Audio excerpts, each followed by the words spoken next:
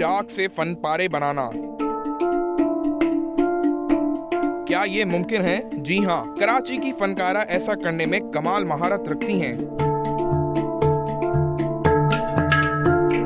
कागज़, लकड़ी और दीगर अशिया को जलाकर खाक किया जाता है। और फिर बनते हैं शाकार नमूने। डायरी थी मेरी। उसको मैंने जला के अपना काम स्टार्ट किया था। इस तरह से फिर मैंने मुख्तलिफ़ और चीज़ों को जलाना शुरू किया जिनसे मुझे मुख्तलिफ़ किस्म की राख मिली।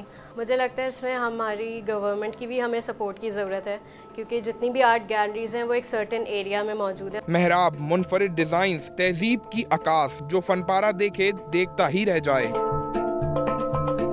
बतूल के वालिद भी अपनी बेटी के इस हुनर को खूब सराहते हैं। टैलेंट्स तो हर बच्चों में होता है किसी ना किसी हवाले से।